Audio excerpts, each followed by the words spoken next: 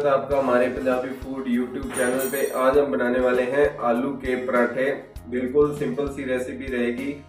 तो चलिए आइए बनाते हैं और वीडियो को शुरू करने से पहले एक छोटा सा काम। यदि आप वीडियो पे पहली बार आए हैं तो चैनल को सब्सक्राइब कीजिएगा और वीडियो तो पराठे बनाने के लिए पाँच से छः आलू लेने हैं। उसके बाद एक हांडी के अंदर गर्म पानी करना है और आलू को हमने बेसिकली बॉईल करना है। देखिए दोस्तों आलू हमारे बॉयल होना शुरू हो गए हैं। तो ये देखिए बॉयल में आ चुका है।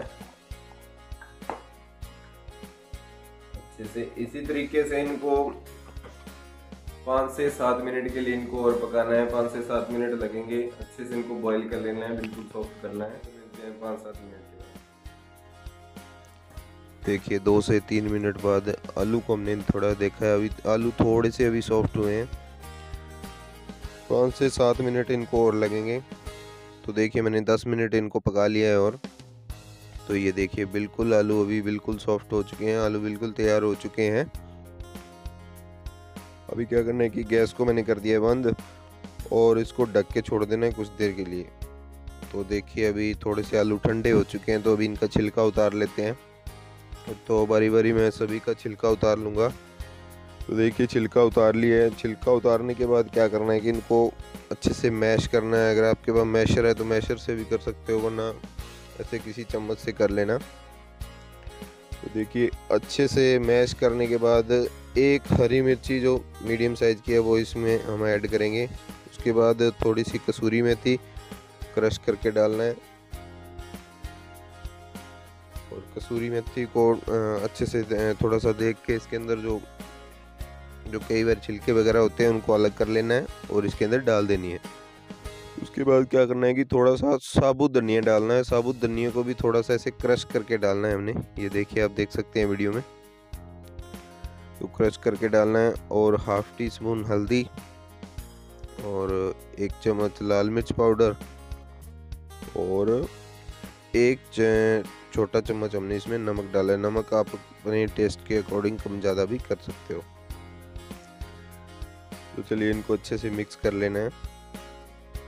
तो देखिए मैं मिक्स कर रहा हूँ इनको अच्छे से मिक्स कर लेना है बिल्कुल बढ़िया तरीके से।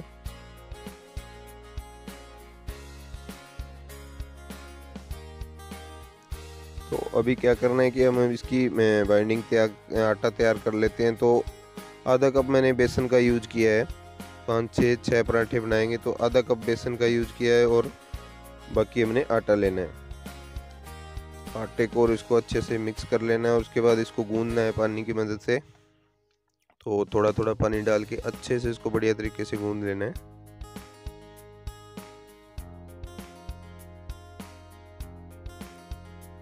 तो ये देखिए, आटा हमारा बिल्कुल रेडी हो चुका है। और ये देखिए, इस स्टेज तक इसको गूंदना है। उसके बाद देखिए, इसको बेलना शुरू करते हैं। बेसिकली हमने दो लोइयों को बेलना है मतलब दो रोटियों को ऐसे बेलना है। और उनके अंदर स्टफिंग करनी है। देखिए, एक रोटी को ऐसे नीचे रख लेना है, उसके बाद उसको उसमें स्टफिंग अच्छे से भर देनी है। वैसे आप मतलब बीच में स्टफिंग जैसे समोसे में करते हैं, वैसे भी कर सकते हो। वैसा करोगे तो क्या होता है, कई बार पराठा फट जाता है। तो इस तरीके से आप दो रोटियाँ बेल लेना, उसके ऊपर एक को रख लेना। और थोड़ा सा ऐसे हाथों की मदद से दबा के और थोड़ा सा उसको बेलन की मदद से हल्का सा बेल देना बस। हल्का सा बेलन की मदद से आप इसको दबा देना, थोड़ा सा बस हल्का सा देखिए। और उसके बाद ये बिल्कुल रेडी है। तो क्या करना है कि इसको भी पका लेते हैं तो तवा गर्म हो चुका है, गर्म तवे के ऊपर इसको रख देना है।